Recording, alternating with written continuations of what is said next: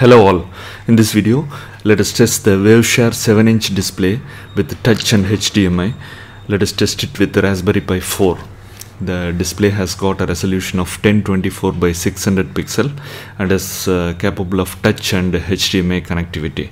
The previous models uh, were supplied with 800 by 400 uh, pixels. The new version is 1024 by 600 pixel.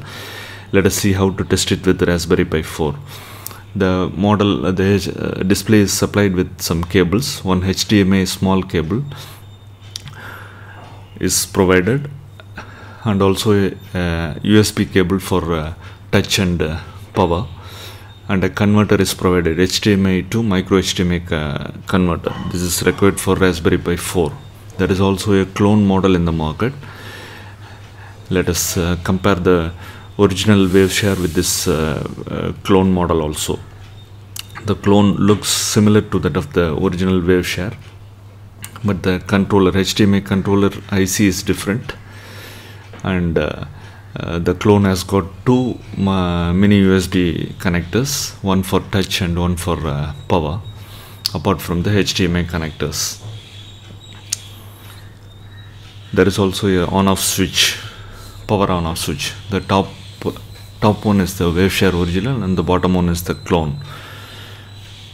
Uh, there is a USB protocol translator in the original for uh, smooth touch control with the crystal. The crystal is missing in the clone and near the HDMI uh, there is EMI and ESD protection circuit in the original which is missing in the uh, clone model only the US HDMI connector is there and it is directly taken care by the controller. And uh, in original there is only one uh, micro USB for touch and power but there are uh, two connectors in the clone. And uh, a VCOM voltage adjustment for optimizing display effect is there in the uh, original display. There is small preset is there VCOM adjustment. Now let us test it with the Raspberry Pi 4 before that we have to make ready the Raspberry Pi OS with the uh, SD card. Always use class 10 type uh, SD card to prepare the uh, operating system and use a card reader for this. Once the OS is ready plug into your Windows machine. The Windows machine will display only the uh, boot partition. And it will not show the root partition. Right click on uh, root uh, boot partition and then create a new file named ssh dot text. Finally delete this dot text so that only the ssh file is there. On next boot the ssh will be enabled automatically. Now click on the config.txt file we have to modify and add some lines to enable the HDMI display. Scroll to the bottom and then add these lines. First line is max underscore USB underscore current equal to 1 this will make the current over USB to 1.2 amps as we are uh, supplying power to HDMI display. This is very important. And next one is the HDMI group and HDMI mode. This is uh, 2 and 87 this is to configure the HDMI uh, format. And then we define the coordinated video timings. That is uh, 1024 width 600 height 60 hertz frame rate and 6 is the 15 is to 9 aspect ratio. And uh, margin disable and the second zero is for progressive interface. And then we uh, underscore ignore underscore EDID this is very important. So this is to ignore the EDID or display data. And then HDMI boost boost equal to 2 and without this uh, underscore ignore EDID the HDMI display 1024 display will not work. Uh, save this uh, uh config.txt file remove the SD card and plug it to the Raspberry Pi 4 now connect the HDMI cable and then the micro USB cable. The micro USB cable uh, the other end is connected to the USB port of Raspberry Pi 4 and the HDMI cable is connected to the HDMI port. For this you require a, a converter micro HDMI to regular HDMI converter uh, take care while connecting this uh, micro HDMI connected to Raspberry Pi 4 as the HDMI socket is very flimsy. Uh, now plug in the HDMI cable to this socket. The power required is uh, at least 5 volt 2.4 amps and the cable is C type cable.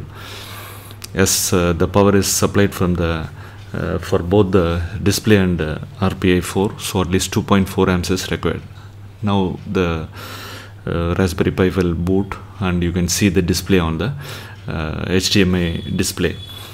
You can see the touch is also very smooth and working perfectly. Now let us test this uh, uh, display the clone display.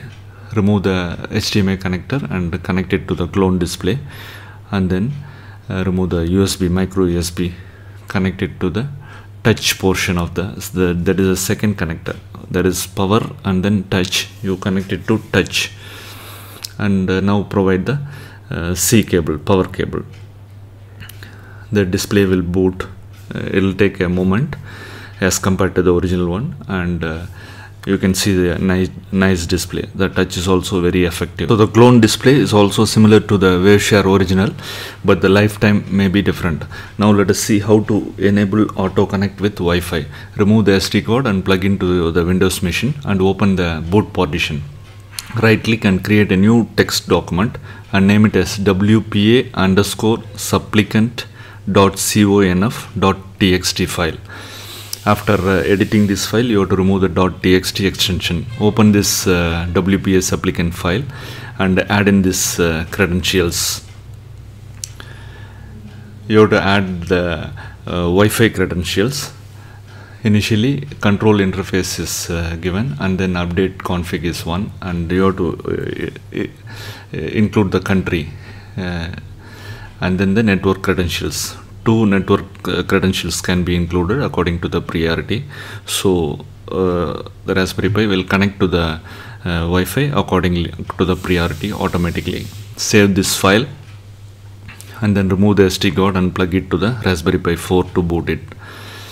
Uh, before that you have to delete the .txt extension so that the file name is only wpa underscore supplicant .conf once the Raspberry Pi is uh, booted you can see the display and you can see uh, the Wi-Fi is automatically enabled and connected to the uh, uh, SSID according to the credentials you are given. You can also uh, include a matchbox keyboard for uh, typing on the screen. Thank you for watching.